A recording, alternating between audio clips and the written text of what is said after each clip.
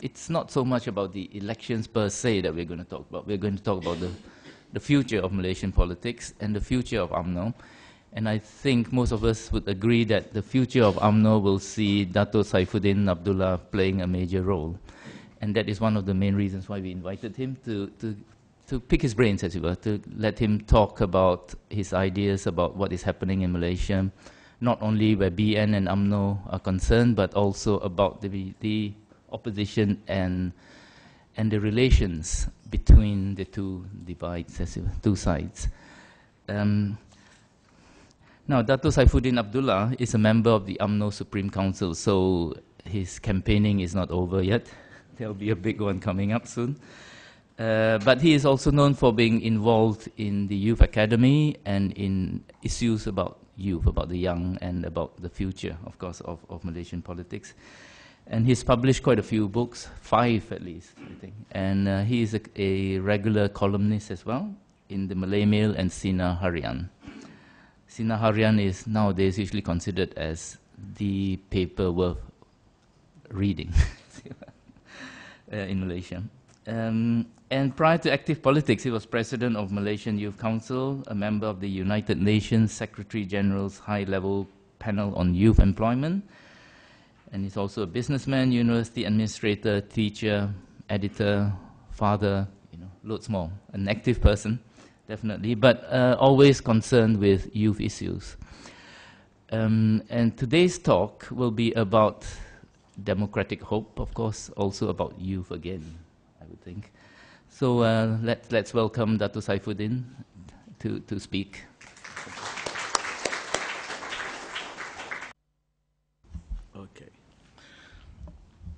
Assalamualaikum warahmatullahi wabarakatuh. Salam sejahtera uh, Mr. Chairman, Dr. Oi, uh, Ambassador Tan Chin Tiong, brothers and sisters. First and foremost, I would like to thank ISIS for inviting someone who recently lost in the general election. so you have before you someone who is in between job, and I would like to consider this. First of all, this is an honor to be here. This is my fourth visit here uh, my second time speaking here. But, you know, uh, I always tell people nowadays when I'm invited to give speeches and for sharing, I take it like in a jazz, this is like an interview for a new job. You know? Now, brothers and sisters, um, we are just about a month after uh, the recent GE13 in Malaysia. I'm sure you have been looking at many of the analysts, um, Chinese tsunami, uh, urban tsunami, uh, Malaysian tsunami, and all kinds of tsunami.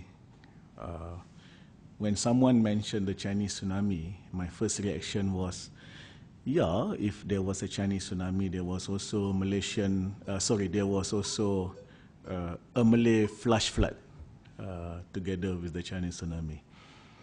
But my take of the GE13 was slightly, uh, not totally different, but I, I, look at it from a different uh, perspective.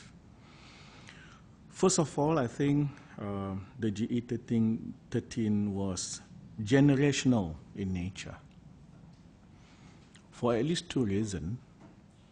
Number one, uh, not that this is the first time you have big numbers of young voters coming out to vote, but this time the number of young voters was the biggest uh, in the history of Malaysian general election.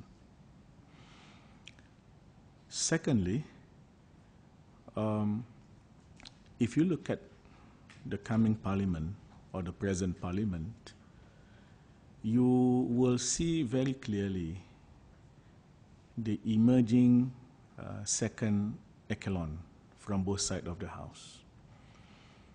Uh, in BN side, you will see figures like Khairy Jamaluddin, Rahman Dahlan, Kamalan Aden, uh, Khairy as a minister, Ahmad, uh, sorry, Rahman Dahlan from Sabah as a minister.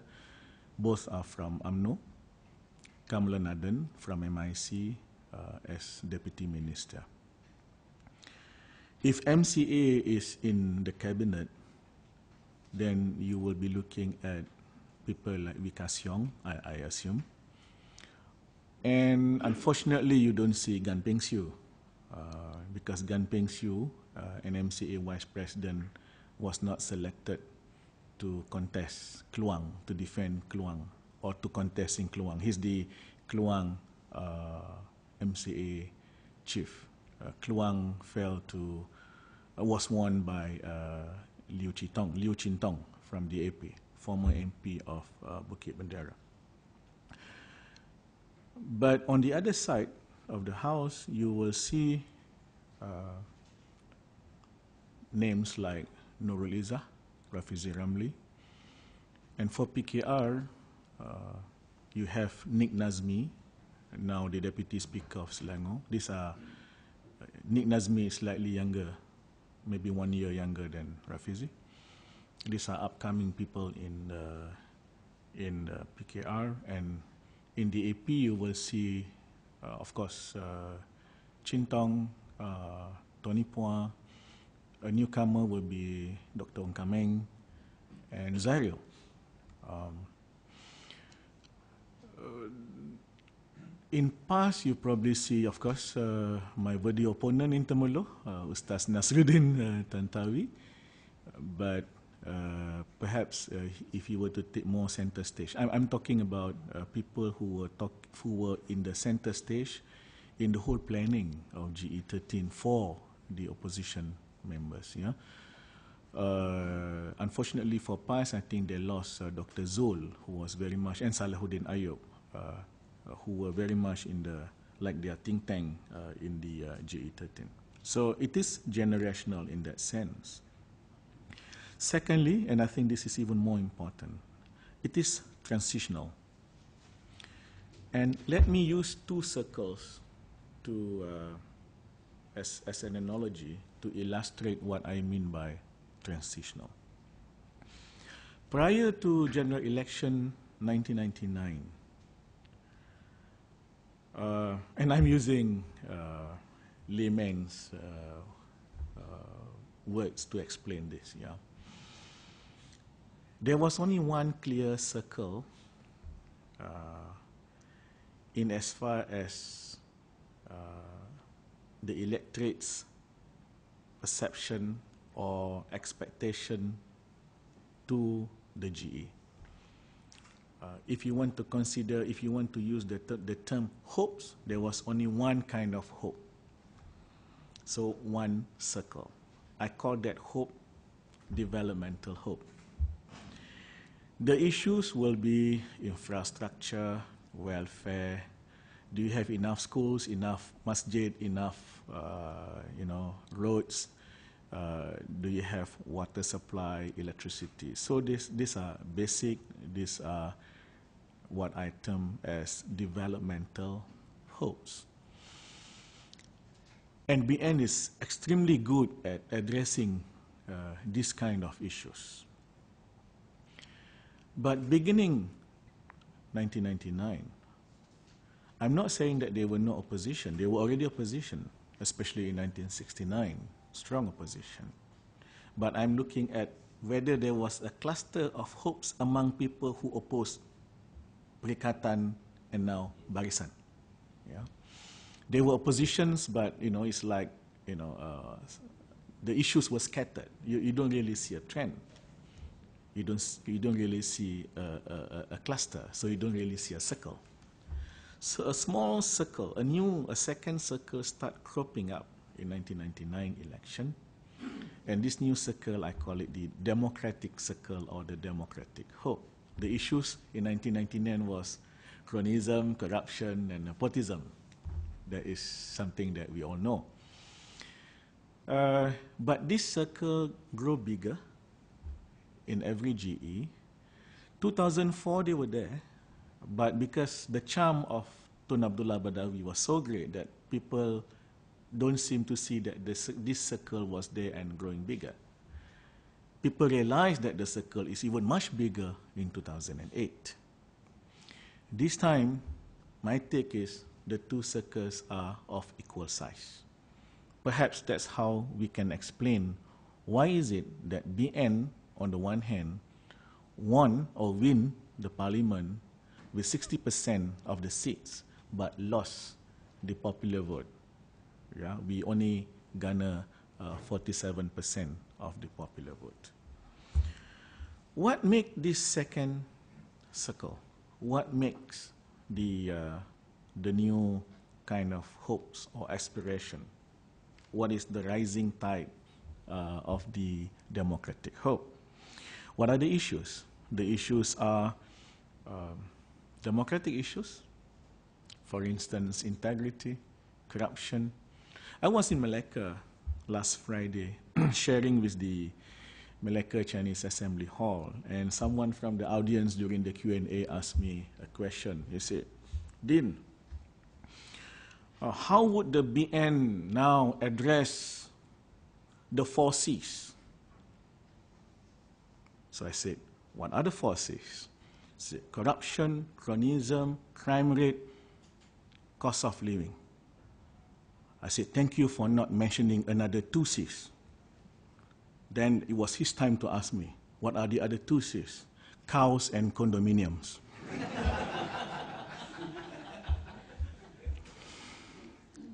so, issues on transparency, accountability, these are new issues. Uh, human rights, freedom. In the first circle, you talk about university education. In the second circle, people are talking about quality university education. In the first circle, you talk about access to higher education.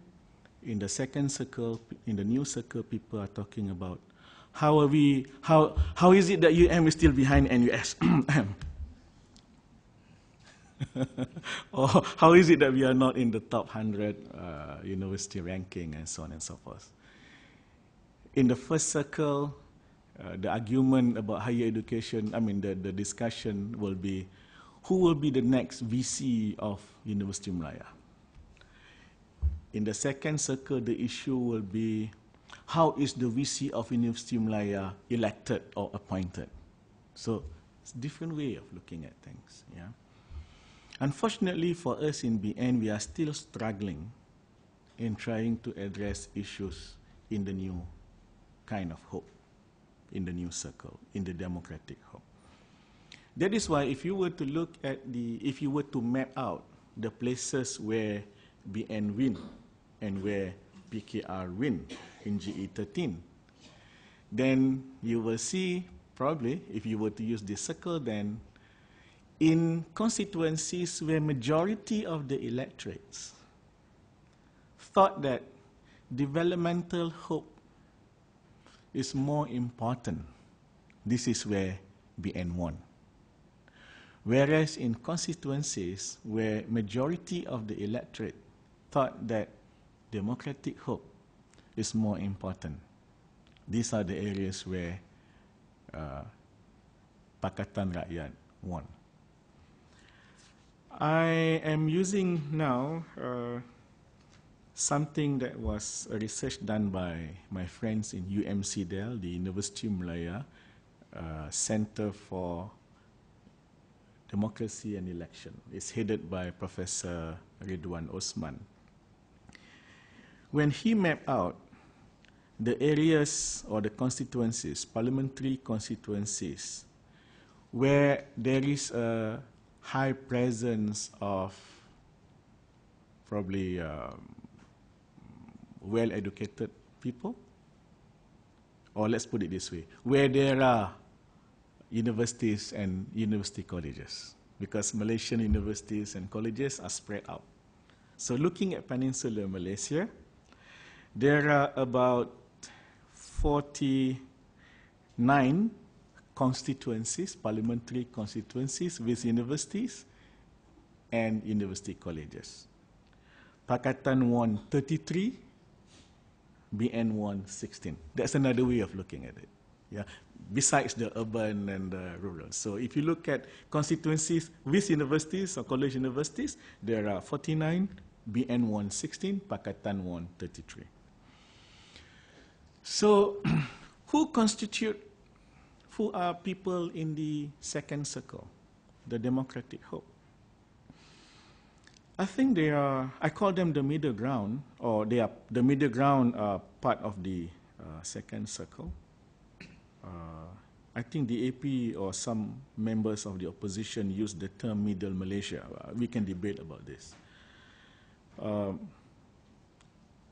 and the, the, these people are also uh, known as, some of them are known as atas pagar, undecided voters, or on the fence, depending on how you look at it, yeah? But I call them the middle ground, though I'm not trying to stereotype people. They are, firstly, uh, the young voters, uh, young professionals, uh, urban. So they are young university students, yeah? Second will be the professionals, the technocrats. Third will be teachers and lecturers. Fourth will be entrepreneurs. Fifth will be uh, civil society activists. Yeah. How many of them? Uh, according to UMCEDEL, they constitute about 30% of the electorate. Uh, if you look at DAP's numbers, uh, I think they are looking at about 4 million. So these are the real swing. Are they dominantly Chinese? Not necessarily, because there are lots of Malays and Indians and other ethnics in that that belongs to that group. Now, so it is transitional because here you have a contestation of the two circles, two kind of hopes. I'm aware that there are many other ways of looking at the uh, GE13 outcome or results, but I am very confident about one thing that the first circle, the, the more traditional way of looking at election and politics, the developmental hope, the size is shrinking, that's for sure. Whereas the new circle, the democratic hope, is growing. And this can be seen clearly, as I said, from the 1999 general election. How is it that this circle, the new circle, is growing?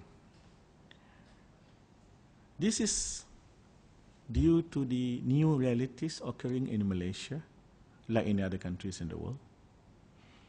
And I would like to divide these new realities into two parts. The first is new realities that are universal in nature. Second, new realities that are very specific to the Malaysian context, though they are not peculiar only to Malaysia. What are the three new realities that are universal? Number one, the advent of the ICT and the new media. Uh, we all know about Facebook and the power of the internet uh, and so on and so forth. Is GE13 the first social media election in Malaysia? Yes and no.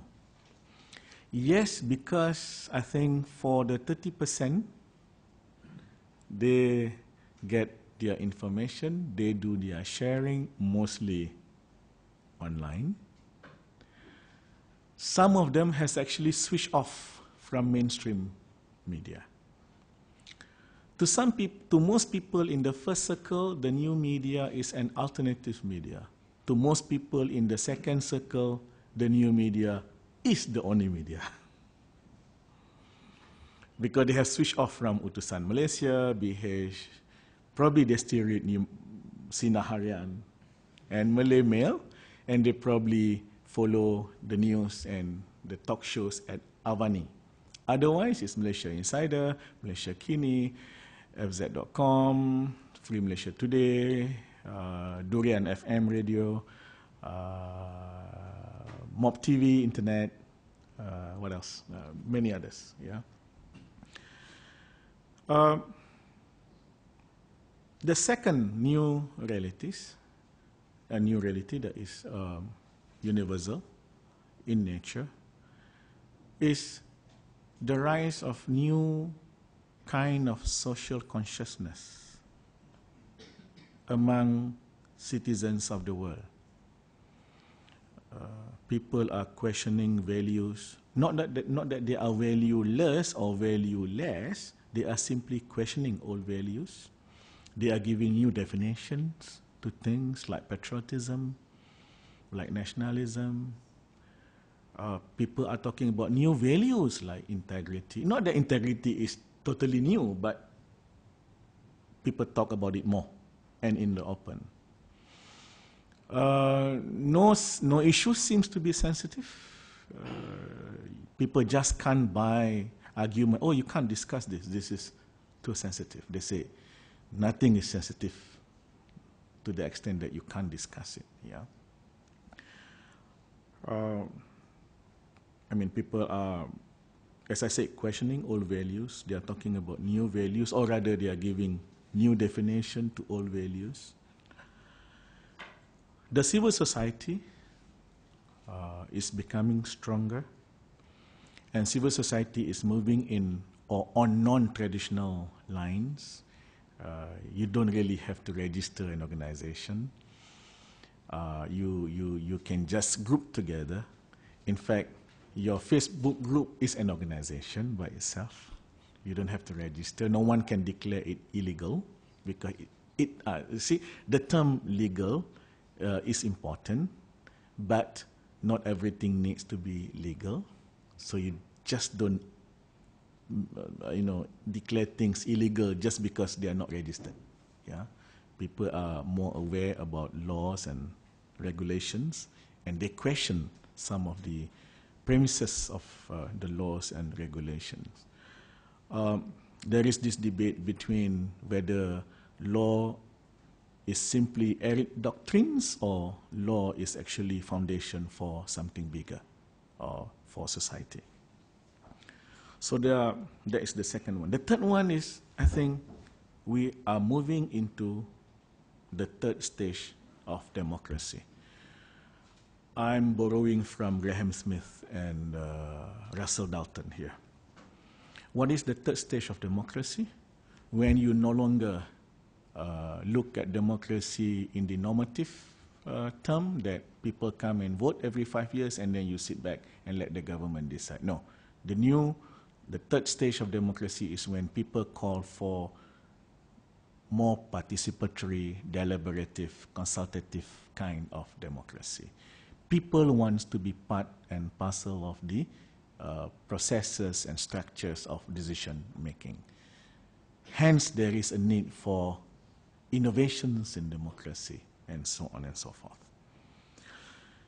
But besides the three universally uh, occurring new realities, there are three very specific new, reali new realities occurring in Malaysia also.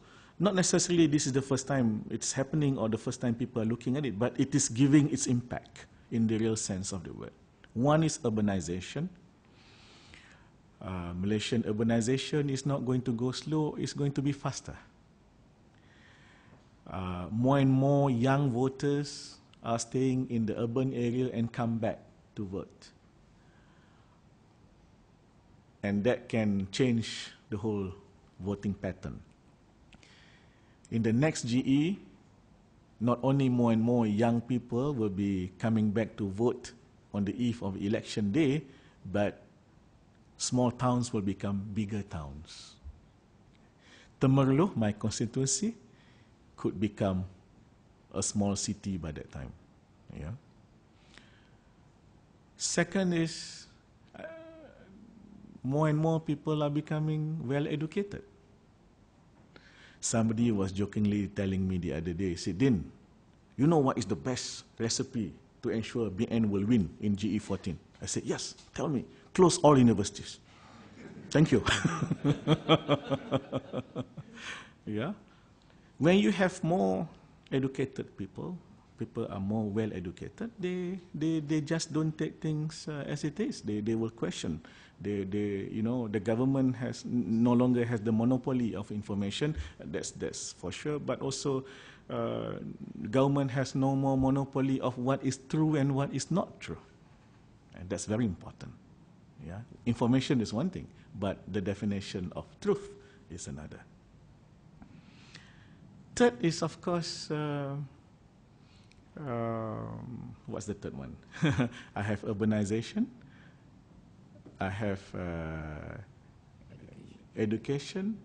Okay, the third one is the middle class. And now I'm using the, the, the, the term middle class like we, we normally use it. Yeah. The middle class will be growing in terms of size and, and, and, and numbers. Yeah.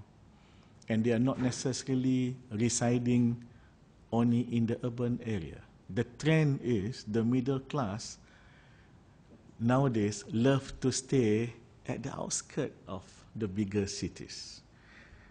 So that is why you will see more and more people who used to stay in Kuala Lumpur, right in the center of the city, now buying properties in areas like Gombak, yeah, going down to, on the way to Seremban.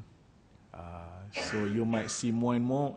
So this is the greater KL, yeah, and you have you also looking at the greater Georgetown, the greater Ipoh, the greater Kuantan. So partly it's urbanization. Uh, as a process, partly the middle class are no longer staying, uh, uh, you know, in Kenny Hill, in Bangsa, and Damansara. They are moving out because they want a better place, less pollution, less uh, traffic jam, and so on and so forth. I mean, these are uh, I think, universal characteristic of an affluent society. Yeah, you have a choice. You want to go out. You want to. You want to. You know. You want a, a better, Uh, uh, uh, health, a healthier lifestyle. So six features under new realities are occurring. They were there uh, in the previous two or three general election, but the impact is so real this time around and the impact is going to be greater in GE 14. The other thing which is interesting uh, in the GE 13, again, not the first time it happened, but it happened in the, in, in you know, it is more visible, is that uh, this is interesting because on the one hand, we, we are looking at some numbers, we are looking at analysts saying that there is so much polarization in GE13. But at the same time, on the other hand, I think more Malaysians are becoming colorblind when it comes to voting. I give you a personal experience, something that I was sharing with Dr. Ooi yesterday. I was contesting in Temerloh. Temerloh is uh, a 50% urban and 50% rural.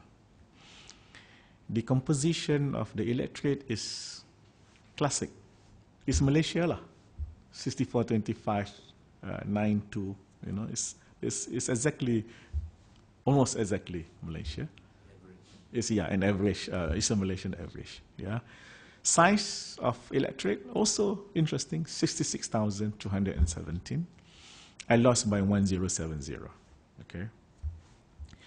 During the election, I saw for the first time in Temerloh, maybe it has happened in other places in the last GE, but for the first time in Temerloh, DAP flags in Malay kampongs.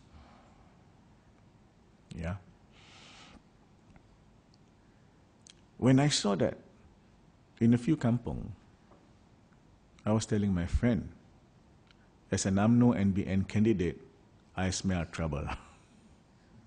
Never mind that the DAP candidate in Mentakab, which is the DUN, the, the state seat under Temerloh Parliamentary Constituency, is a Malay guy by the name of Tengku Zafrul, but is a DAP flat in a Malay kampong. I say, okay, this is trouble. Yeah. But as a Democrat, I look at it differently. Now, is this a signal that Malaysians are becoming more colorblind? So I had mixed feeling.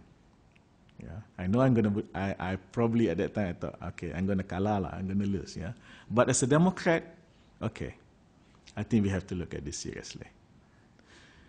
And when you look at the fact that DAP has got more Indian MPs in Parliament compared to uh, MIC, and PAS has fielded a non-Muslim for the first time. Uh, now, these are big challenges for UMNO and Barisan Nasional. That is why I say I'm not going to contest whether colorblind is bigger than polarization. No.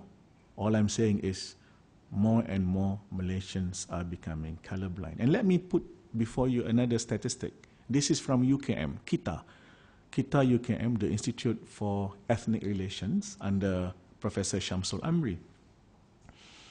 They did the research last year in 20 different districts or constituencies in peninsular Malaysia, trying to understand how Malaysians look at unity. One of the questions was Are you more comfortable in declaring yourself, yourself as a Malaysian or as a Malay Chinese Indian, etc.? 60% of the respondents replied saying that I'm more comfortable in calling myself I'm Malaysia first second Malay, second Indian, second things like that. So that that is the two numbers that I have. One, well, one number from Kita UKM. You can you can address that later, perhaps, or you can invite uh, Shamsul. The other one is my personal experience, and this I found out later that this happened not only in Temerloh, it happened uh, in many other places. So, what's next for UMNO and BN and Malaysia? First of all, UMNO is facing our GE, uh, our, our own uh, election. Uh, we have not announced officially when it is going to be held. The UMNO branch meetings, uh, UMNO branches will start their meetings 15th of July until 30th of August. The actual election of the Supreme Council is either in October or November. My guess is it is in November. Yeah. But this time we are using a new uh, system. The old system is when you have less than 3,000 delegates to the UMNO Assembly in Kuala Lumpur voting for the Supreme Council. We have amended the constitution. This is part of Najib's uh, political transformation. As soon as he became president, he, he moved the idea to amend the constitution whereby it is no longer less than 3,000 delegates voting, but delegates to all 191 divisions of UMNO throughout Malaysia, except Sarawak, because we don't have UMNO in Sarawak, will be voting for the Supreme Council. So you're looking at about 150,000 to 160,000 delegates voting. We have about 3 million members.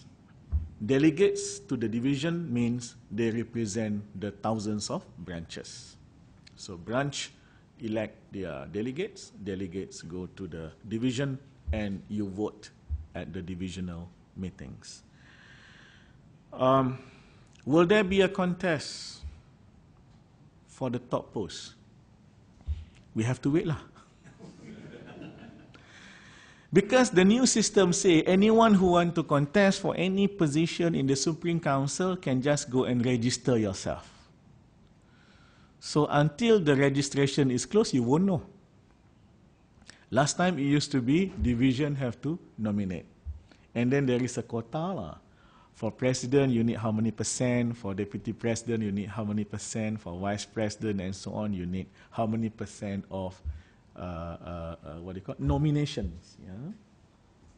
But this time, so long as there is a nominator and a seconder, I guess you are eligible to contest. So we will have to wait. Uh, I am expecting our Supreme Council meeting the, on the last Friday of this month. Uh, then we will get to know probably the dates of the uh, voting and the actual uh, system that we will uh, carry out this time. My guess is there will be no contest for the top post. My guess is uh, Najib will be returned unopposed as president, unless, of course, someone think that Najib has done very badly uh, in the last GE. There is a difference between uh, position and Tun Abdullah's position. I mean, after uh, the GE. In 2008, UMNO cannot accept that we lost two-third majority. This time we have lowered the bar, so to speak, even before GE13. So lower expectation. Yeah. But UMNO did much better as a party in GE13 compared to, to 2008. Uh, we won more seats this time, 88 compared to 79 at Parliament. We got back Kedah and uh, we got back Perak. Uh, there was there was this uh, argument. What do you mean by you got back Perak? You retained Perak. I said, come on. To be fair, we lost Perak before we we somehow got it back. So we say we got back Perak lah. To be to be more to be more candid about it lah. Know? uh, or rather to show we do better lah. Know? So we got back Perak. But interestingly, uh, we are not uh, popular vote wise. We lost in Kedah and Perak. Yeah, in Kedah, BN won 21 seats, but we won only 49% of the popular vote. In Perak, we won 31 seats, but we won only 43% of the popular vote. Now, coming to this popular vote, uh, there is a trend that somehow BN's popular vote is on the decline or was on the decline uh, since uh, 1995. In 1995, we were like 65%, and then 63.9 in 99. In 2004, even though we won 90% of the seats in parliament, our biggest win, but the decline in the popular vote was already there uh, by one point compared to 1999. 2008, 50.2%, and uh, this time uh, 47%. Now, is it possible for BN to check the slide? It is, because we have done it before. Uh, we had our lowest popular vote in 1969, only 49.3%. In the next GE 1974, we got 60%, 60.7% of the popular vote.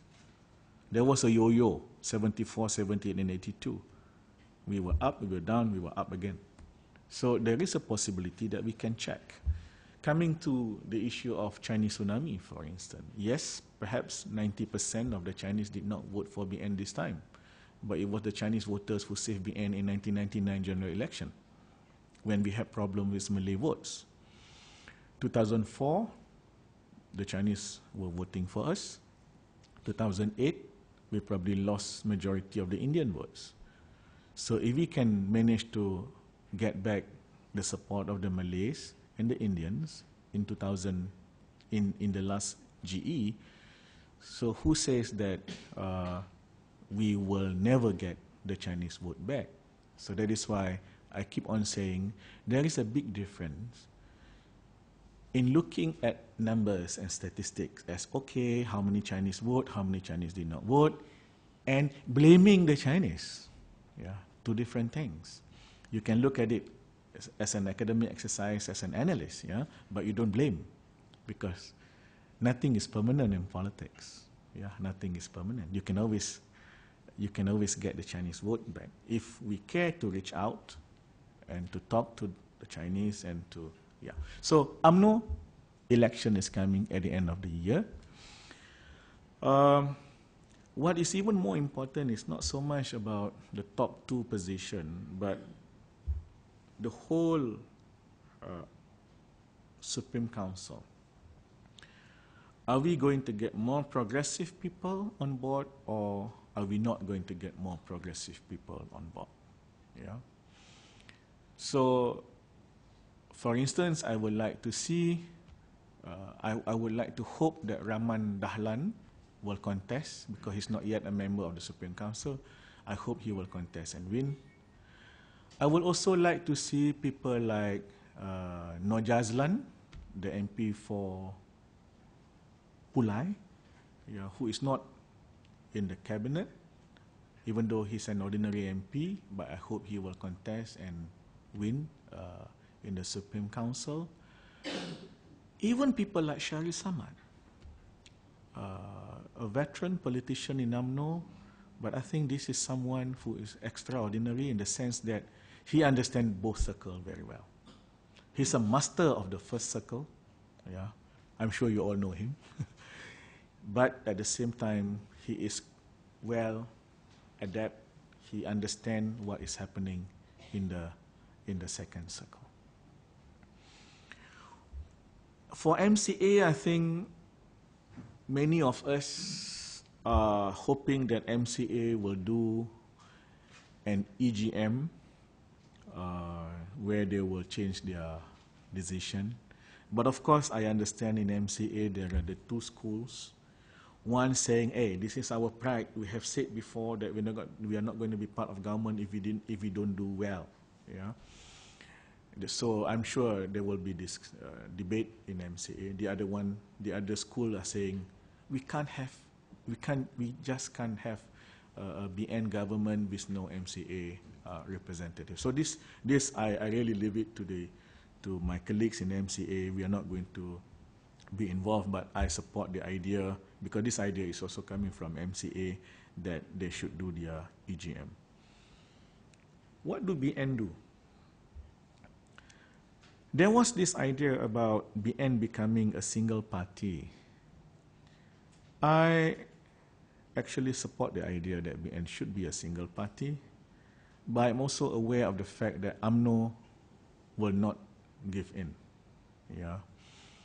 And I don't think uh, Sabah and Sarawak, especially Sarawak, PBB will give in to the idea because they want big.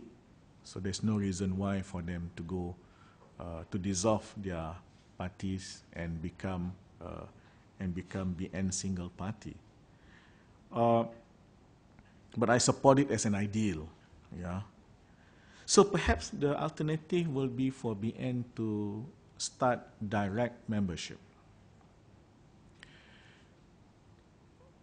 in our current system, to be a member of BN, an individual, to be a member of BN, you have to be a member of a particular component party. Most of our component parties are race-based party. They are not racist.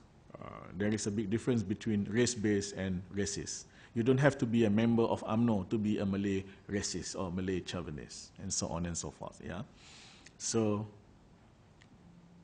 most of our parties are in BN are race-based. Uh, but outside BN, as I said earlier, more and more Malaysians are becoming colorblind. Our opposition members, both uh, all PKR, PAS, and uh, DAP seems to be quite successful to a certain extent in trying to show to people that they are colorblind. They are really multiracial. Our multiracial party in BN would be, the two famous one would be Gerakan and PPP, but they didn't do well. I'm being very politically correct here. Yeah? They didn't do well. Besides, they didn't really show that they are really multiracial.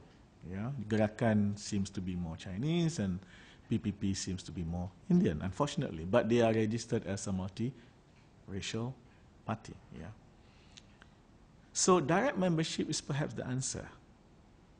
For Several reasons, because number one, people are becoming more colorblind. Number two, among the civil society today, and this is not just after GE, even for the last few years, the main discussion within the civil society circles are, number one, move away from race-based policies to need-based policies. Inclusive development, participatory development.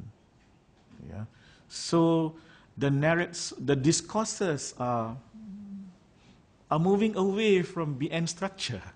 So BN have to adapt to that. Politically speaking, BN has to adapt to that. Yeah. The other thing is, what happen if some members, okay, this can become, you know, can become an issue within BN, but what if there are uh, members of the BN who think that their parties are no longer strong enough for them to be a member of or for them to be active in? What is the option? At least you put an option, you give an option. Yes, you can become a member of a direct uh, BN club or something as an individual.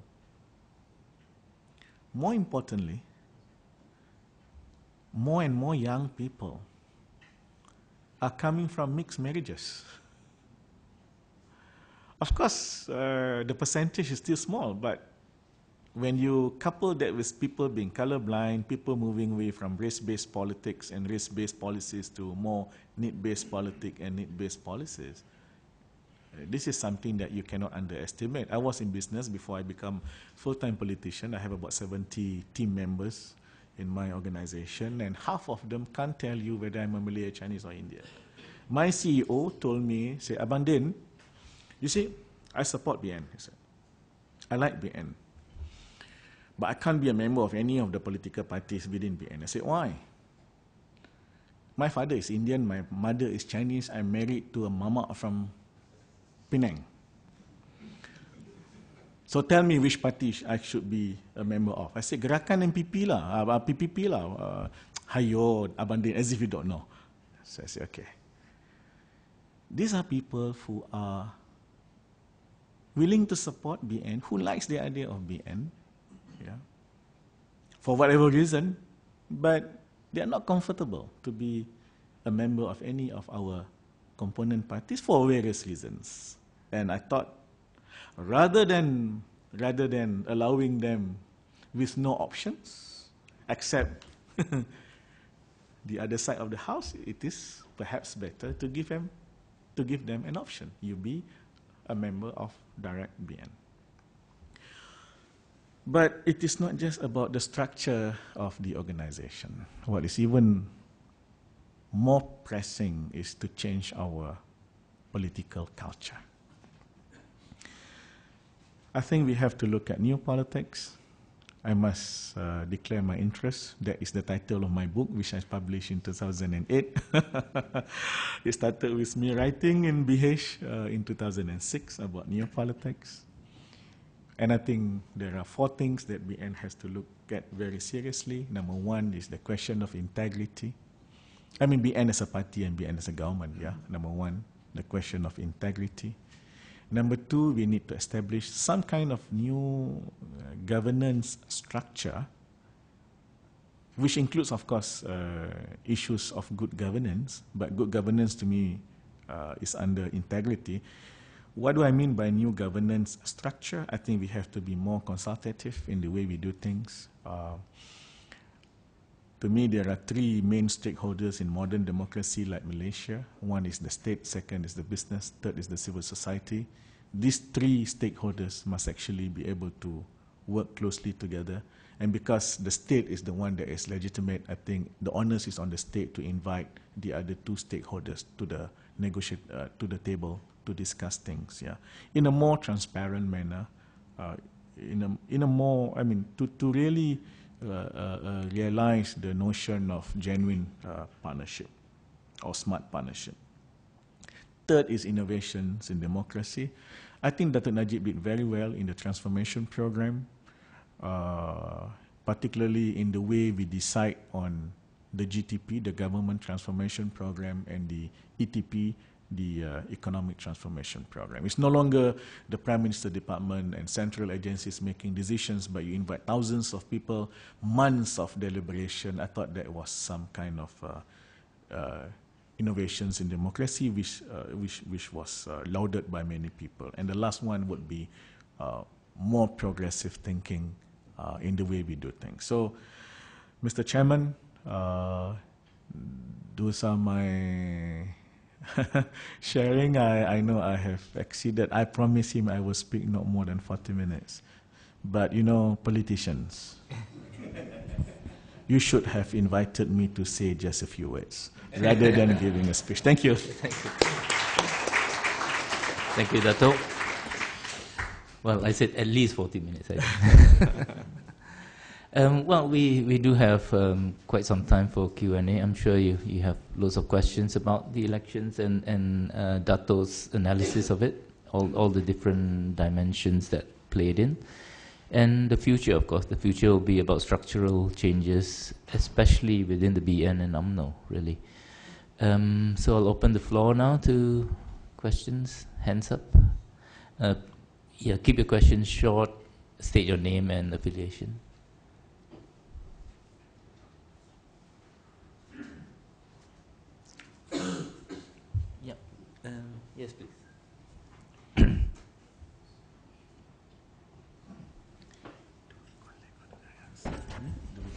Um, good morning. My name is Wong Sik Chun. Thank you for a very interesting and enlightening uh, speech. Um, just, just a few comments, which I is my personal views. I may be way off the mark, but just a few comments is that one of the issues that, uh, as you have mentioned, is um, the first two C. I think those, the first two C is the main problem, right, that uh, the most uh, Malaysians are concerned with. And my view is that uh, the first two C arise or given opportunity to arise is mainly because of the NEP policy. Because of NEP, uh, a lot of uh, so-called opportunities were given up to certain sectors of people who will benefit under the pretext of NEP. So if the N, where is the chance of NEP being amended, if not abolished, to get to provide a level playing field? And the other one is the university quota system right? Because Malays are being the majority. And a lot of Malays are capable to fend for themselves. If the quota system is there, it provides a crush mentality, and therefore you have a lot of people who depends on this to actually get themselves in. And this provide the general public with a concern that you know they do their, their opportunities are being deprived. Thank you. Thank you. Yeah. Uh, we'll, we'll try to take two or three questions for, for Dato to answer in a sweep. Um, any other questions? Yes, please.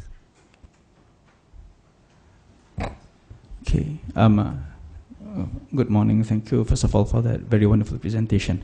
My name is Afi from RSIS. Uh, my question is um, uh, when you talk about just now on um, uh, the need for structural reforms, for instance, um, uh, even within UMNO itself. Um, what about the more sentimental reforms? Um, for instance, when uh, the issue of ETP um, uh, was uh, being brought forward by the Prime Minister, there was opposition from within UMNO itself. And uh, what I'm referring to explicitly is between the those more liberal voices, perhaps within UMNO, and also the more conservative. So perhaps you can shed some light on that. Thank you very much. Yeah, um, okay. Just, just uh, my name is Ong Jin Kiat, and a quick one. There's been no mention about the electoral boundaries, It's obviously something that will, you know, be always brought up in the future. Mm. Mm. Yeah. Okay. One, one more then. Yeah. Uh, yeah, uh, good morning, Mr. Chairman, ladies and gentlemen. Uh, Dato Saifuddin, thank you for coming here and give us your thoughts. Uh, I just have two questions liberals like you in UMNO I don't know whether, what is the likelihood of your future in UMNO, people like you?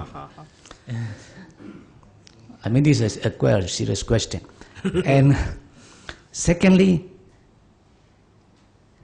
would it be better, like when I look at your, the, your speeches, your thoughts, it fit more people like in the PKR or DAP. So I think it's quite a, a struggle for you, uh, having this kind of uh, liberal and yet in a party which is very conservative and even sometimes extreme. or it could be just a strategy of PM Najib that you are a very good PR and a hope to get back the support for MCA and MIC. I don't know whether that is the, the strategy in the mind of the UMNO leadership. Thank you very much. You, you comfortable answering? I don't know which one to answer first now. Okay. Let's get the easy one. uh, yeah, thank you uh, for the questions. Uh, do we have to do, in exam we don't have to answer all questions right now? Yeah, so long as you get 51% of the mark, yeah, okay. Simple majority. I'm not looking for two-thirds. uh, yeah, cronyism and corruption, they are two in one and one in two, like both sides of the coin.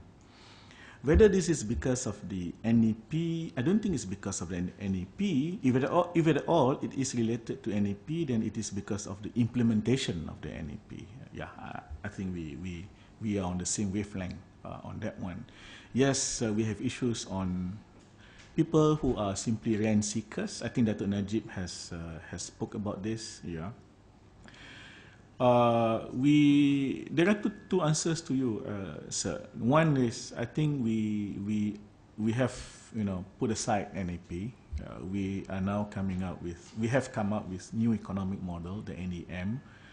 Uh, it was it was uh, very much the work the work was led by Tan Sri Amirsham, uh, Amirsham, uh, very notable banker, then became a minister under Pak Lah uh, for a short while, then was asked to head the new economic uh, uh, action committee, NEAC, and his main task was to come up with the NEM. I would recommend that we look at the NEM, and I think perhaps there are talks in KL now that we should actually relaunch uh, NEM now that election is over because there are lots of good things, good stuff uh, in the NEM. Uh, for instance, uh, even if we are, okay, we are looking at the, the three principles of the NEM is now, of course, uh, going for high income, state, uh, sustainability, and inclusiveness. Inclusiveness includes looking at the 40% of the people who are, unfortunately, at the bottom of the pyramid, but we are looking at new kind of affirmative actions. If at all affirmative action is still needed, uh, I think we are looking seriously into uh, approaches like uh, social entrepreneurship. So it's not about giving handouts to poor people, but actually to empower the poor. We, we are not without any success stories. We have, for instance, Amanah Ikhtiar Malaysia, which is actually a, a template uh, of uh, Grameen Bank, but we have been very successful. What needs to be done now is to uh, to graduate the people under AIM uh, scheme uh, so that they can actually be uh, truly uh, independent and out of the uh, out of the uh, poverty line. But what is more important is what do we do about it? Yeah. I think, to be fair to Najib, uh, he did not deny the fact that corruption is a serious thing. That is why corruption is one of the six original uh, uh, focus areas or the national key result areas under the government transformation program. I think we have publicly admitted that this is a serious uh, issue. And to date, I think we have put up some uh, system into the government machinery, bureaucracy. For instance, there is now uh, what is known as the uh, integrity index, where every procurement have to be pegged uh, to the integrity index, and about 82%, or probably more by now, uh, government uh, procurements are already pegged to this uh, integrity index. Yeah, uh, so there is an effort, there is a serious effort in doing this kind of thing, uh, in trying to combat corruption. But yes, more needs to be done, and even in the GTP, uh, beyond, uh, 20, I think. Uh, a few more new initiatives will be announced soon because already in the in in in the existing uh, government transformation program, uh, in as far as uh, combating corruption is concerned, there is uh, two or three other new initiatives uh, that will be looked at. Uh, other than that, I would like to say two more things that needs to be done. Number one, I think um, uh, on the government side, we have to to practice more uh, spend management technologies. Uh, to be specific, to use more of the uh, e-bidding and e-procurement technology where it is 100% online, it's very transparent, uh, with minimum uh, human intervention. So when you have, when you minimize uh, human intervention in the whole process, then you minimize the possibilities of uh, of uh, of corruption occurring. Yeah, so we need to do that. The other thing is, I think it is about time. Late is better than never, but it's about time we seriously address the issue of political financing. Uh, I think Gomez, uh, Professor Gomez, have done a paper or probably uh, a, a, a, study on political financing. I think this is something that both sides of the house, yeah, both sides of the house have to address seriously. Uh, we have actually stopped uh, officially using university quota in the last years of Mahathir administration. Uh, entry to public universities are now based on uh, meritocracy. The main issue now is actually quality uh, education. Yeah, uh, we want to ensure that our universities are taught by the best and produce the best. and as always, you know, uh, we look at Singapore universities very closely, very jealously, and and uh, if we can't beat the others, we, we keep on telling ourselves, you know, if you can't beat the others, you must be at par with our uh, contemporaries uh, uh, across the causeway. Yeah, so we, we we must do that. Now, uh, yes, there was some debates between you know. Um, people in government about the uh, ETP because the economic transformation program is quite liberal, actually. Yeah, opening up of companies. In fact, in the BN manifesto, uh, there is a, a, a, statement on looking or reviewing uh, the GLCs.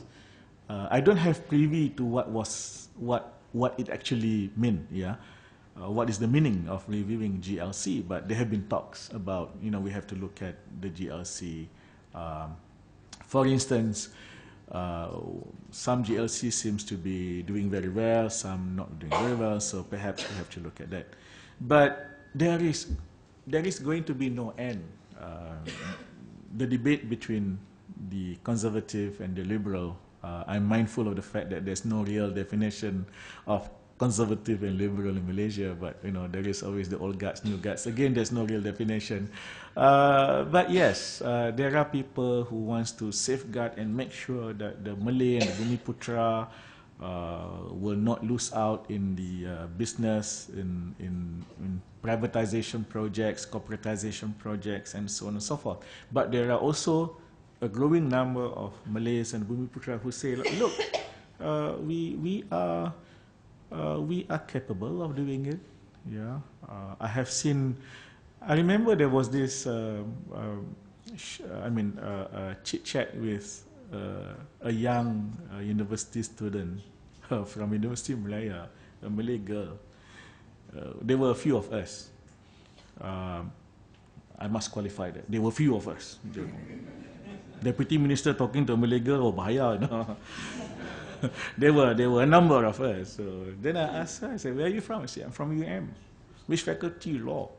So I look at her, wow, very good. And then he quickly Can you imagine a Malay girl talking to a Malay deputy minister, minister like this? Sir, I came in on merit, okay? Aha. You know what that means? Because there are a growing number of Malays, young professionals, who are telling the world, look, I'm here because I earned it. Yeah. Not that they are not being thankful to the quota system of the old days. They're simply saying, I'm here because they sometimes perhaps feel embarrassed, I don't know. Because they might think that, oh, you think I'm here in UM, UM, law faculty somewhere? No, no, I'm not there because I'm a wind cable candidate, yeah, but because I'm, I, I earn it, yeah. So, uh, so I, I will then go to the next question. I, I skip the delineation thing first. How many people are liberal in UMNO? uh, like any other organization, sir, if I may submit, there is always the liberal and the progressive and the reformists and whatever you call them. And the number is always the small minority. Not only minority, the adjective is there, small minority. The big majority is always the yes, Mr. President. I think in, in our context, yeah, probably not in the not in the Europe, not in Europe and the US, but in our context, yeah, majority will be the yes, Mr. President. And you have another uh, part of the organization, which are the old guards, the conservative, the hardliners, whatever you call it, who will resist change some way or the other. Whoever is the president, they will say, oh, it has to be status quo and so on and so forth. Would it be better for me to join Pakatan Rakyat? No, thank you, sir. uh, yeah, I joined UMNO in 1986. I graduated from UM in 1984. At that moment in time, what choice do I have? Uh, UMNO is part of uh, BN. I believe in uh, multiracial politics. Uh, so the choice was BN. And because I was a Malay, I, I'm Malay, so uh, ahli UMNO lah. You become a member of UMNO. Uh, why don't I join Pakatan Rakyat? No, I believe uh, the struggle for new politics and or principled politics or whatever you call it can come from many ways, from many angles. So it's okay lah. Some of my friends are in Pakatan. They were with me in uh, in university or in the youth uh, movement. Uh, then uh, they work through Pakatan. I work in UMNO. What is my future in UMNO? It depends lah. I'm a, I was a rookie MP uh, first time uh, in in GE 2008. I won with 2,200 uh, 2,400 votes. I lost this time with 1,070 votes in the GE. I stand for the first time in UMNO Supreme Council last time, uh, and I got 15, number 15 out of 25. Not bad for a rookie and for someone who openly admitted that I don't spend money uh, in getting uh, my seat in UMNO Supreme Council member. But this time around, uh, it may be tougher because the system have changed. And number two, last time maybe, you see, most UMNO members, when they vote for Supreme Council, uh, they have their list in their mind. Yeah, First, ministers, deputy ministers. So I was lucky uh, last time. This time, I'm not going to be very lucky. Yeah, A former or an ex, uh, it's not going to be easy. Yeah. Number two, last time they don't know, they don't really know me. You know, who's this Saifuddin? Don't know lah. Young people, young boy lah. Can lah. Give him a chance lah. You know. After all, he's a deputy minister. Okay. Oh, he come from Pahang. Uh, Najib's place. Maybe he's Najib's man. Maybe he looks like Najib also. So maybe, yeah. So give him a chance lah. So I won lah. Yeah. This time, he lost already wa. Yeah. And then, what is this new politics he's talking about? Uh, we don't need this new politics. You see, we did well but this time. Uh, without the new politics, I don't know. So it's tougher. For me, it's tougher this time. Uh, okay. The EC, and uh, thank God, uh, at last we have announced that the EC will report to Parliament from now onwards, uh, though the actual date has not yet to, not yet announced, uh, which is good. Um, but delineation process is going to be interesting. Yeah, the issue of uh, gerrymandering has to be addressed. I'm not admitting that we do it, yeah, okay. I'm saying the issue of gerrymandering has to be addressed because people accuse the EC, not us, the EC of gerrymandering. So we have to address the issue. Um, and, and, and this is already long overdue. So it's going to be interesting how, how we look at uh, because uh, there are two schools here. First, they say you don't need to add number of seats you can just play around with 222 parliamentary seats, but so long as you lessen the number of voters in places like PJ Utara, PJ Selatan, uh, uh, uh, Seputeh, and Kapar, Kampar, and others, and uh, and so on and so forth. So you can get a more balanced uh, numbers for majority of the parliamentary constituencies. Uh, so you don't need to amend constitution because you amend constitution if you if you need to add number of seats. But others are saying you still have to add the number of seats. So because of that, you need to amend constitution. In order to amend the constitution, you need uh, a two-third majority, which we don't have. And because of that, we need to negotiate with our friends in the opposition. Whatever it is, I think it's going to be exciting time. So you have MCA election, you have UMNO election, you have MIC election, you have delineation of new parliamentary and state assembly uh, constituencies. So, so we will have a field day analyzing what's going to happen for the next few months. Yeah. Okay, thank you. Um, do you have a question? Um, okay, Moose first then.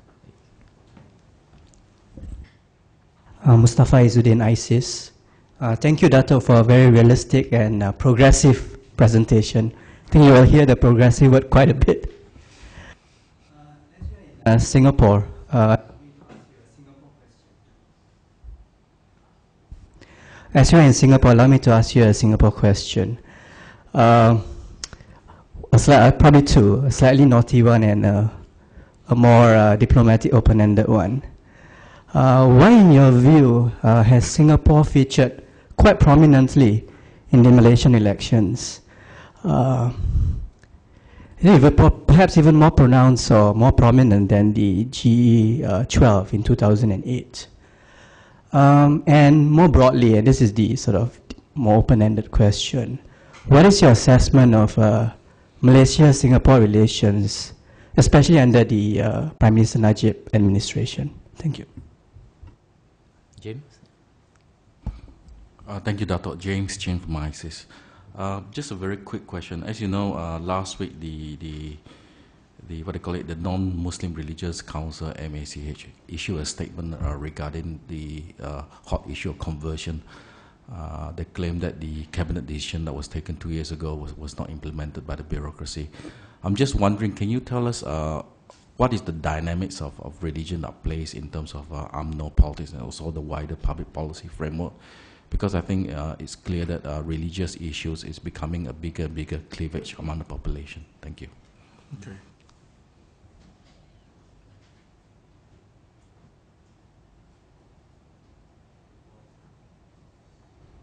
Uh, um, Sorry, I'm not in dress code. I forgot about it.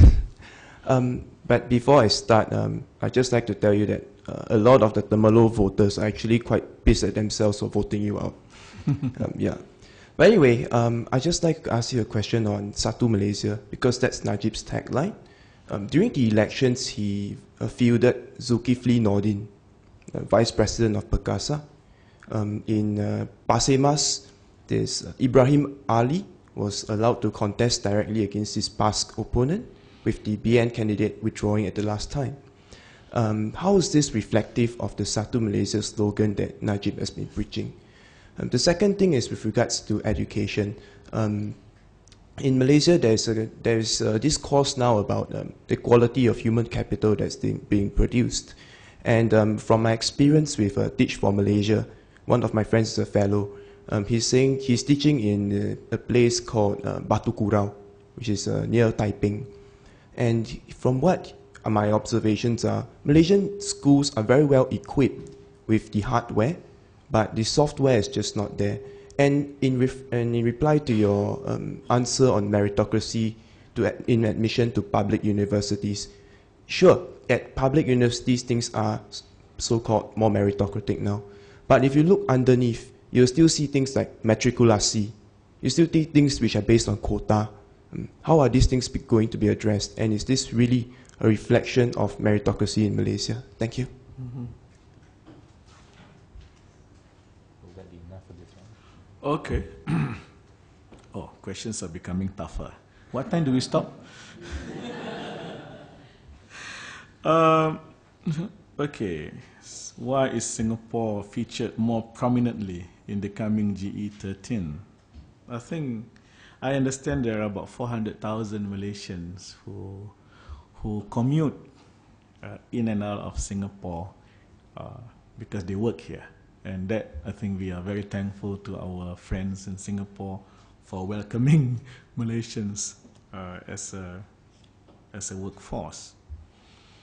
But more interestingly, more interestingly uh, when it comes to GE13, I think is the number of Malaysians uh, who reside in Singapore or who works in Singapore, I think who works in Singapore rather, who registered to vote and came back to vote. Look at Gelam Patah as an example. I don't know the exact number, but I'm told there are about 13,000 uh, voters uh, who are actually working in Singapore and they come and vote in Gelam Patah and many came back to their hometowns uh, to vote uh, this time. So the biggest overseas voters for GE13 is naturally from Singapore. Lah, yeah. So, uh, is this a good sign?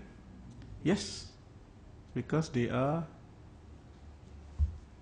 participating in our GE. I think that is of number one importance. Yeah.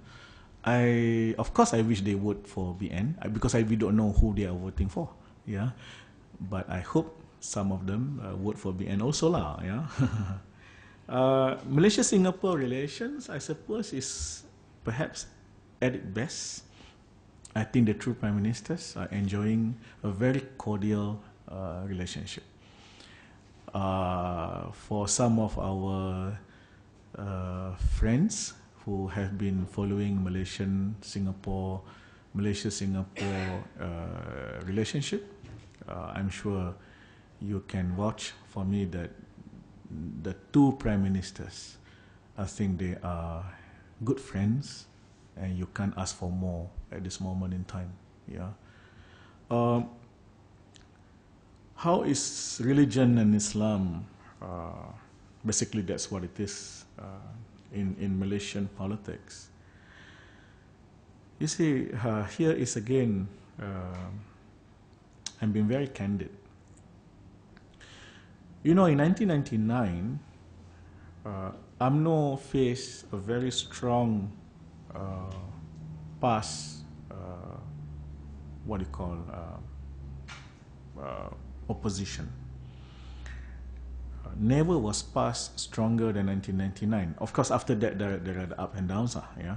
But, but 1999 was the first time PAS came out very strongly. The Young Turks, lah, basically under Haji Hadi, yeah? And for the first time you see though not very clear at that time but already you know well educated professionals joining PAS. So they are becoming a very potent opposition. UMNO had a choice that time. Two choices. One is to be more Islamic than PAS. Number two take a moderate approach. Thank God we took the second approach we didn't, we didn't try to become more Islamic than PAS. So, um, sorry, it's not 99, sorry. Uh, PAS opposition came strong uh, in the late 70s. So 99 was the Anwar factor, yeah? Sorry, uh, I, I, I correct myself. Uh, the election just before Mahathir came in as prime minister, yeah? That, you know, the remember the Islamic revivalism of the 70s, yeah? So those, those, those time, yeah? Those time and uh, Anwar was not yet in UMNO. Yeah. So the role of Abim was very strong uh, those time. So yeah, it was Da'wah movement, revivalism of Islam. So books like, uh, what's the book? Zainal Anwar wrote a book. Uh, his, her, her, her master uh, uh, thesis was on the Da'wah movement among Muslim students looking at UM and things like that. So so in the 70s. So when that's why when Mahdi came in, the choice was whether we become more Islamic than PAS or we took a moderate path. And I think uh, Mahdi did the right choice. UMNO did the right choice of not becoming, trying to become more Islamic than than PAS. Uh, so for Islam, for, for PAS and UMNO, there is always this contestation of as to who serve Islam better lah. Let's put it that way. Yeah. When I say I I uh, I'm being very candid because uh, I'm quite happy to see PAS moving towards the center prior to GE13. Yeah, I can get into trouble, you know. Now I'm praising PAS already. Just now you tell me I would rather join PKR and DAP. Now you will say, why don't you join PAS? Yeah? No, because now, now they are no longer talking about hudud. Though hudud is always on their agenda, but at least in their pronouncement, uh, they are talking, they are going uh, to the center. Now, as a Malaysian and as a Muslim, anyone going to the center is good for the country and it's good for the religion. I mean, for, for, for, for the Muslim, for the Ummah. Yeah? What worries you is when people go to the right or when people go to the left. Anyone going to the center should be encouraged. Yeah? But it's a challenge to UMNO lah, because UMNO has always tried to take the center stage, that we are the moderates. Now PAS is saying we are also moderate, though they say in different ways. Yeah.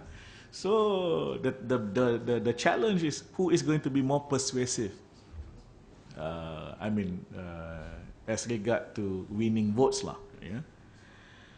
Um, so that is, that is the thing. I think I think uh, Islam will feature uh, perhaps forever, uh, so long as you have UMNO and PAS, but I'm very happy with the fact that uh, both UMNO and PAS are now uh, going to the center, and I think that, that, that is good. Yeah? So it remains now to who defines it better, who does things better. So perhaps we should look at uh, how Kedah is going to fare compared to uh, Kelantan, for instance, because these are two very uh, Malay Muslim dominated states, and of course, uh, how uh, UMNO were to lead uh, Islamic issues at the federal level. Yeah, so then you will have, you know, uh, issues on conversion, kalima Allah. These are going to be, you know, the debate will will will not end, and there is no easy solutions to it.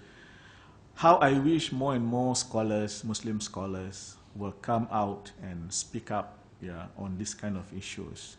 And uh, I think both sides of the divide should actually listen more to the scholars rather than. You see, the problem is always when.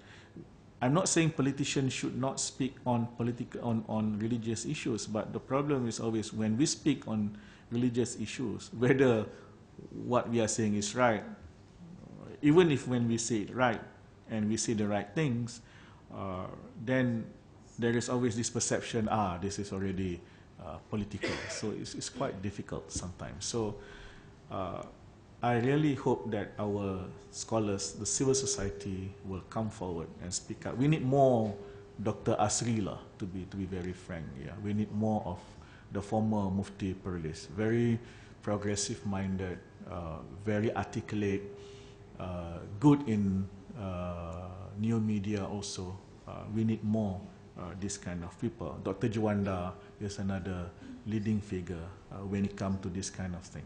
Yeah.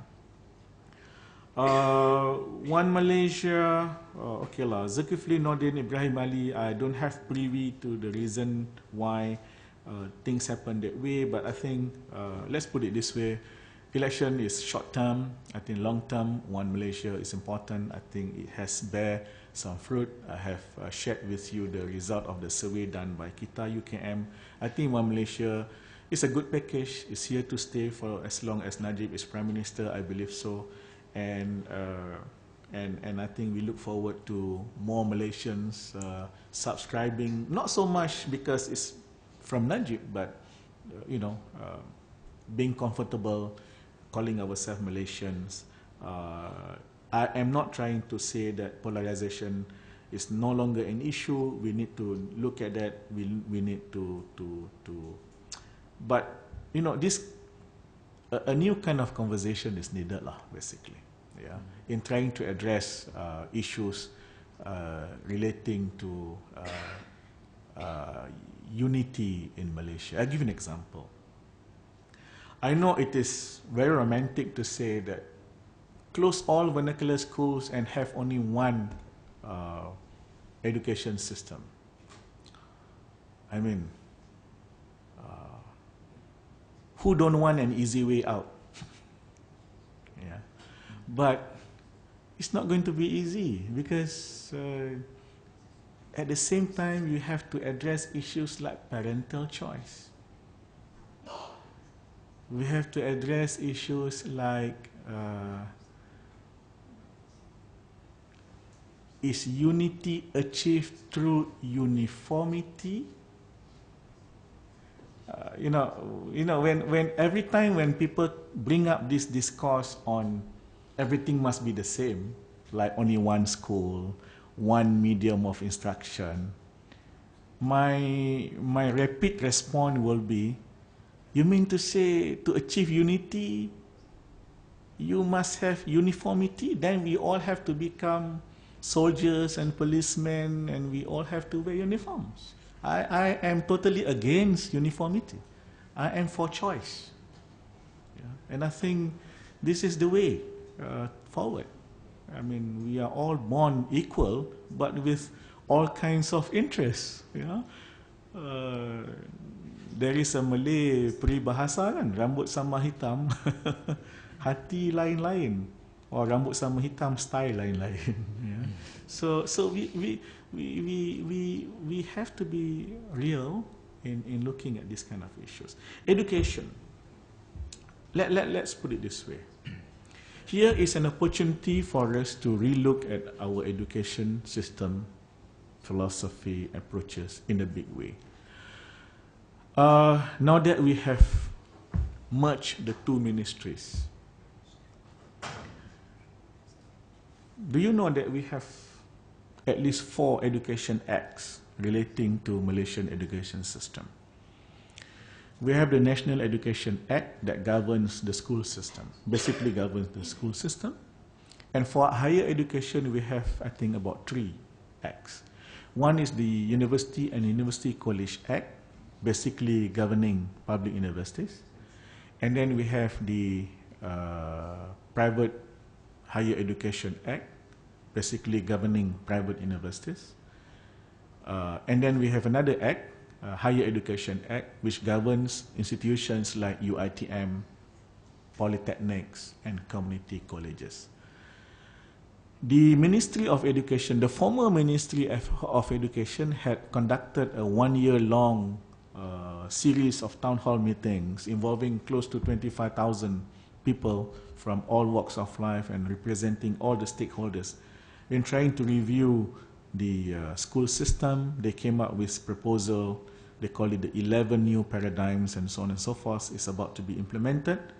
My former boss, uh, Datuk Sri Khalid Nordin, the former Minister of Higher Education, now Chief Minister, Menteri Besar of, of, of, of Johor, uh, beginning this year have announced that uh, we need to review the higher education system. Uh, not just the ranking, but the whole notion of quality. So I think this isn't here, and here is an opportunity for for us to look at the uh, education system in total. And uh, at the same time, we should encourage Teach for Malaysia, Teach for Need, Teach for the Needs. There are two Teach organizations there. One is Teach for Malaysia, the other one is Teach for the Need.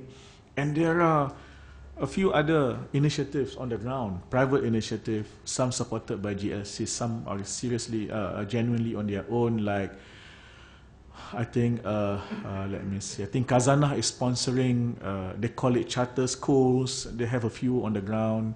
So there are some experiments. I think we should encourage this kind of experiments, you know. And, uh, and, and perhaps uh, this is the new way of looking forward to better education uh, for the country. Yeah.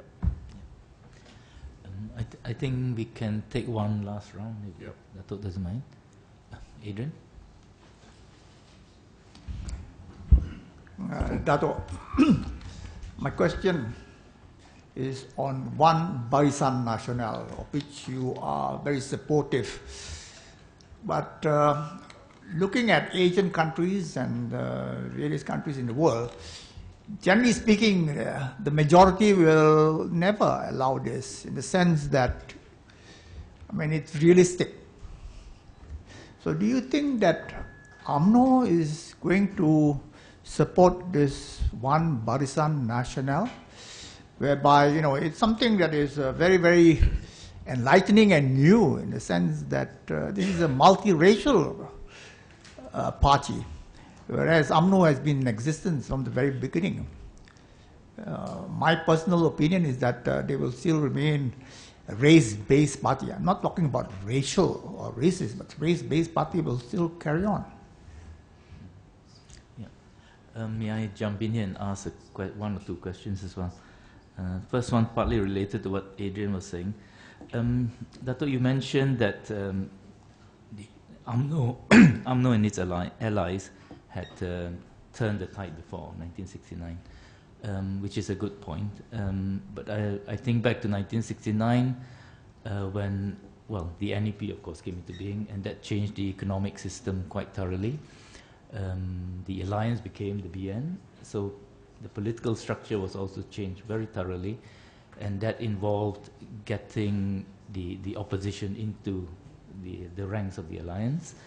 Uh, but that also meant that one still followed the race-based formula, that getting Gerakan in to, to be the representative of the Chinese and all that.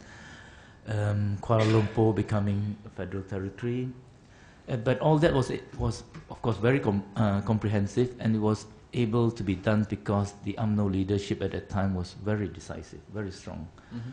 Of course, there was the China factor that, that also helped the Chinese support for Abdul Razak.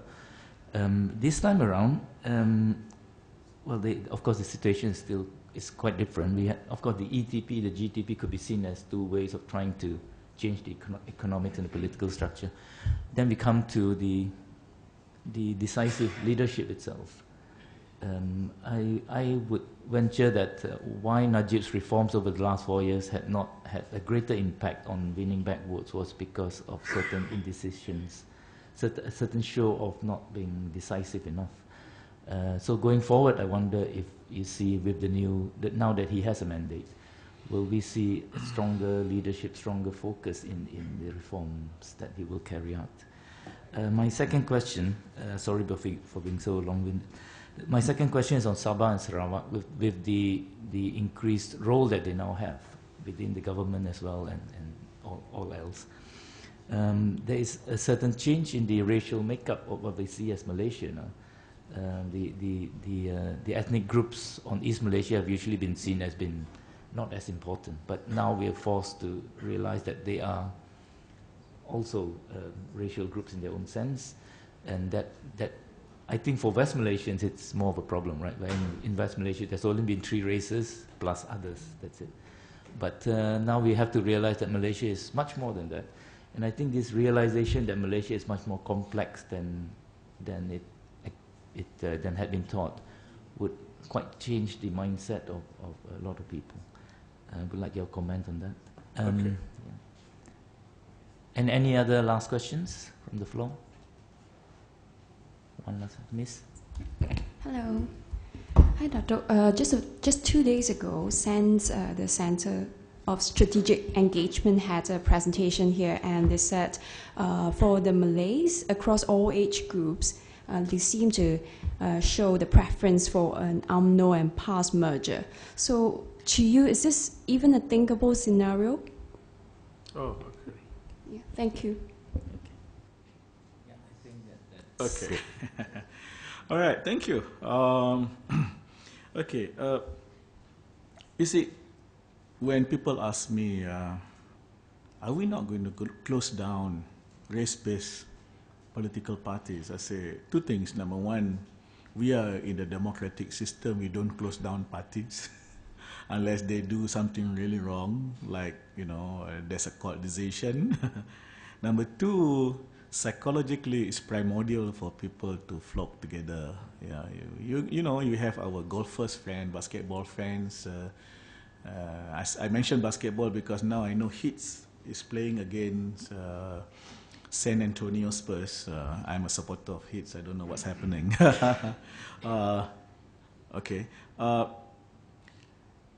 I don't think um, within one or two years, UMNO will, will support the idea of uh, 1BN for various reasons.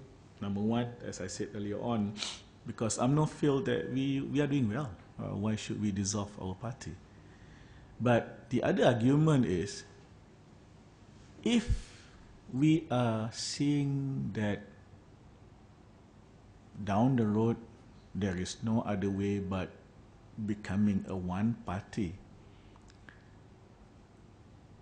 isn't it good that when UMNO is strong, you can dictate what the one party will look like? For UMNO, it would be in its best interest that when you are strong, like now, you can have some say or a lot of say in formulating the 1BN. Uh, so I mean that's that's how how you know. But uh, coming back to the reality, the reality is I don't think so. BN uh, will support it, and because of that, uh, I think it is for practical reason uh, that direct membership to BN is the way out or the alternative. Whether in the long run, the direct membership channel become a multiracial, a real multiracial party within BN, now that is another story altogether. Yeah. Uh, wow, the chairman, when chairman have question, then the speaker have problems. but luckily, no one is pulling away the microphone from me, okay? Like it happened in some places. Ah, okay, two things happened. Uh, I agree with you, sir. Uh, Post 1969, there was a new structure. Uh, Perikatan invite uh, PAS, remember at that time, and Gerakan.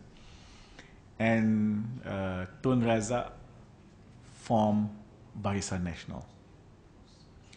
So, and you include uh, parties from Sabah and Sarawak too. Yeah, but uh, the main feature from Peninsular Malaysia was actually Gerakan and PAS. Gerakan remain, the Sabah and Sarawak remain. Of course, Sabah, Sarawak, there's always their own story. Sometimes people go in, sometimes people go out. There was a time when we have within BN opposition, remember? Uh, in Sabah, there was a time when within BN there was also opposition in the government. So it's very interesting, yeah. Uh, the other thing was the NEP, yes, new economic policy was monumental, I think, in bringing back support to BN uh, in the next election, which was 1974. What about post 2013?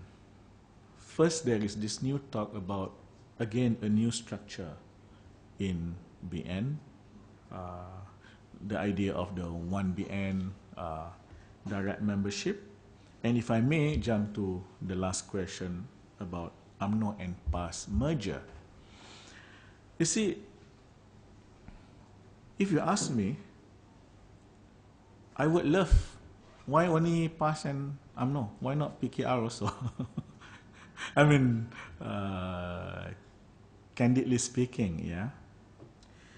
But that would be good for BN, but would that be good for the country? You know why? You have UMNO, you have PAS.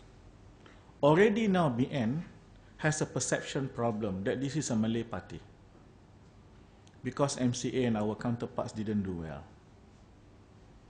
So bringing PAS to BN is very good for BN. But I'm also a Malaysian. Is it good for Malaysia to have a BN becoming more Malay? So that is my question. I don't have an answer. Yeah. Um, remember, I was saying perhaps we need to relaunch new economic model because the new economic model was launched prior to GE13. So there were lots of cynicism and skeptics outside, you know. It's a good, I mean, I, I would really say this is a very good uh, program, a good, a good one, yeah. There are two things, yeah, NEM and the ETP, yeah. So we have to look at both together. And I think if you were to combine a new economic model and the economic transformation program, they are, they are, these are good stuff. Of course, there are weaknesses here and there. We can, we can. Now that they're already one or two years uh, uh, uh, in in its implementation, we can see where, where we go wrong already. Yeah? So we can we can realign. But I would, I mean, uh, this is something that I plan to, to speak in the next UMNO uh, Supreme Council that we need really to relaunch the the NEM. Uh, there's a lot of good stuff in it. Yeah. now that as I said, GE is over, let's move on I think it's about time that we focus on the lot of inclusive development uh, principles in NEM. We really have to look at it. Uh, for, for the way forward includes doing more transformation. Uh, I know there has always been this question that, you know, PM Najib sometimes seems uh, undecisive, but I don't know whether this is real or this is perception. I think when he is decisive, he's very, very uh, decisive about things. Uh,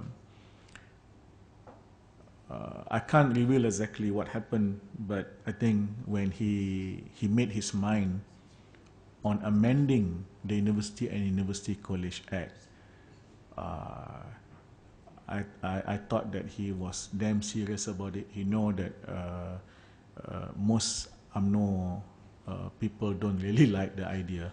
It's a not um, it's a non-UMNO narrative altogether. Yeah, and whether people realize it or not, this is the first GE where university students actually were very free to participate, you know, as workers and volunteers and campaigners in the GE uh, since 1974 since since the act was enacted in 75 to be exact. Yeah in 75 to be exact. So so I'm, I'm happy for that. Yeah at least we managed to to get it before uh, GE 13 so no more jawatan kuasa pemantauan going around with cameras you know taking photo ha you student UM blah blah blah. Nah, tak ada. This time free uh, but it is a teamwork yeah you see, when you do transformation, part of the transformation is political, and part of political transformation is to accept and to realize that politics have changed. Uh, for instance, uh, the other stakeholders wants to be part of the decision-making structure and process. To be fair, you can't blame Najib for some of the hiccups that went about after he has announced some of the new policies. Yeah. I give an example.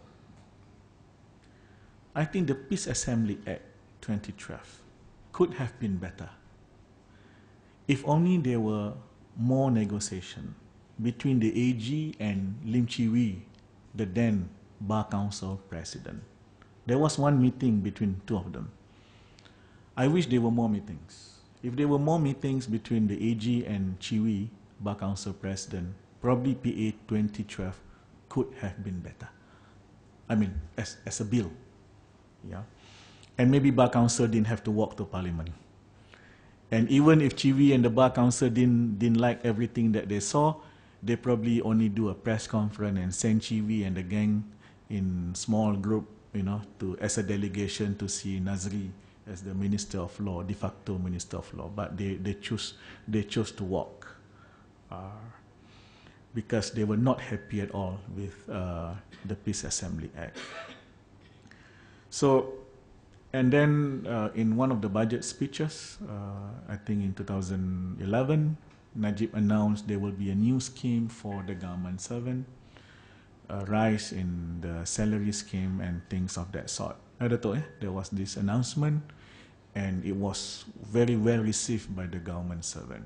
Suddenly when it was really announced, it came upside down and Najib had to put a stop, call a pause, say, look, stop it first, don't implement it, three months, and then go to the negotiate, uh, negotiate, go to the table and negotiate. So CUEPACS came in and everybody came in. So lots of meetings and then uh, launch it again and people are happy. So you don't expect the Prime Minister to be doing everything uh, on his own. So it's, it's a teamwork. Sabah and Sarawak, this is interesting. Uh, on the one hand, the ethnic makeup is more complex than Peninsula. You know, there is one phrase that you should avoid using when you go to Sabah and Sarawak. Dan lain-lain. Because in Peninsula it's easy, you know. You see, we in Peninsula, we are Malays, Chinese, Indian, Sikh, orang asli. You almost cover the whole range already. You go to Sabah and Sarawak, you will say Iban Murut Kadazan, and then because you want to be inclusive dan lain-lain. Ah, so many people will be will be offended. Seriously, I learned I learned a bitter lesson by by using oh dan lain-lain, and they were saying please don't repeat that. I said what what happened? What did I say wrong? I said no. Then they say no. I mean, they are more than just dan lain-lain. It's a very complex. Because it is more complex, so I can understand your question, Dr. A. But interestingly, I thought one Malaysia is more natural for Sabahan and Sarawakians. Kalimah Allah is never an issue in Sabah and Sarawak. That's interesting. Our friends, Sabahans and Sarawakians, you know, Christians in Sabah and Sarawak have been using Allah since time immemorial, never an issue. It is only an issue in Peninsular Malaysia. So, yes, it could be more complex, and because of that, they have more political parties, ethnic base, yeah, and then the breakouts from one to another, yeah. But interestingly, I think they are more inclusive in nature. I would like to put it that way, yeah, to the extent that issues which we don't seem to be able to uh, understand properly in Peninsula are understood very well by Sabahan and Sarawakian. Yeah. So, uh, my yeah, the, I, I, hope I have answered most of the question, if not all. Uh, I must uh, confess that I, I mean, I must admit, I, I, I don't think I can uh, answer all uh, those are my my views on what happened in GE13. I think we are looking at the future. We want to see uh, the biggest challenge now is Parliament uh, is starting its first session, I think, on the 24th of June. We are all looking forward to a Parliament that is going to be more bipartisan. Uh, we hope so. Uh, we are hoping that uh, Parliament will report to itself meaning to say that I think there are now more and more calls for Parliament to be independent, yeah, on its own, manage its own affairs, have its own budget. Um, we, uh, yeah, the, the constituency delineation is first on the agenda, definitely. But also, um, when you look at the 13th general election, maybe for the first time, we are seeing the emergence of the third manifesto real. The first two manifestos are the BN and the PR manifesto. Don't ask me who copies who. Yeah. Because otherwise, next time you will have to decide, okay, both party announce it on the same time, on the same day. Susah lah like that. that was my joke to Rafizi and gang lah. Ah, come on lah, just because you announce it first, you don't say we copy you, because we can always say you copy many of our documents in the past. So no end to the who copy who lah. The third manifesto is the one that comes out from the ballot box. What does it mean when people vote for BN, hmm. but popular vote goes to Pakatan Rakyat? I invited UMCDEL to to do a survey on Temerloh. Yeah. And interestingly, um, you have a a, a, considerable number of people in Temerloh who thought candidate was more important than uh, party, but a slight majority say party is more important than can, than than the candidate. Uh, and and in other analysts, uh, I have found that uh, people are looking at you know new, not trends but new things lah. You know something that don't really come out before, like I think some of our electorates are becoming more candid. Yeah. Can you imagine in my campaign this time, I bump into people, especially the young ones and the well-educated. They say, Dean, I like you, but I don't like your party. Sorry, I can't vote for you. yeah. I sent an SMS blast. Uh, there are 66,000 uh, voters. Uh, we have we sent to about 55,000 and uh, about biasalah Malaysians they don't really reply to this kind of thing about 1400 replied because we blasted three times so about 1004 1005 replied uh, some cursing you lah you are infringing into my private space that's not to be unexpected uh, and but you know, I got SMS which I thought was friendly. Yeah, Dean, I like you. We saw your manifesto, like your poster, blah blah blah. But we don't like your party lah, you know, that kind of thing. No, but but you see, I mean, I take it, I take it as a refreshing thing. What does it mean? Yes, we all know that your vote is secret, but I like the idea that people are open about it. This is important. This is important. People are becoming more candid you know. So to them it's nothing personal. Maybe because they know I'm okay, I'm candid because because of that they say it. But I hear this also from some other candidates, you know, that people are becoming more candid. You know, it's like, hey, you are a good friend lah, you're my neighbor lah, blah blah blah. We go to the same school lah, but you're in the wrong party lah, you know. So I can't vote for you this time. I thought, yeah, because what we need for Malaysian politics is less of the kitchen cabinet stuff. Less of negotiation that you don't know. What we need is more transparency. That not that every Malaysians want to know everything that is to be decided, but more and more Malaysians want to be part of the process in some way or the other. And I think we should I, I call this a new kind of conversation, a new conversation. We should encourage this new conversation. We should widen the public sphere. I'm borrowing from Jürgen uh, Habermas, yeah? The public sphere. And we should really put an end to whatever culture of fear mm-hmm. that is probably still prevailing. So we need, we need this kind of new political discourse where people will voice up, uh, people will listen, and it is from this kind of discourses and this kind of conversation that Malaysia will be a better nation. So thank you all. I'm honored to be here. Assalamu alaikum wa rahmatullahi wa.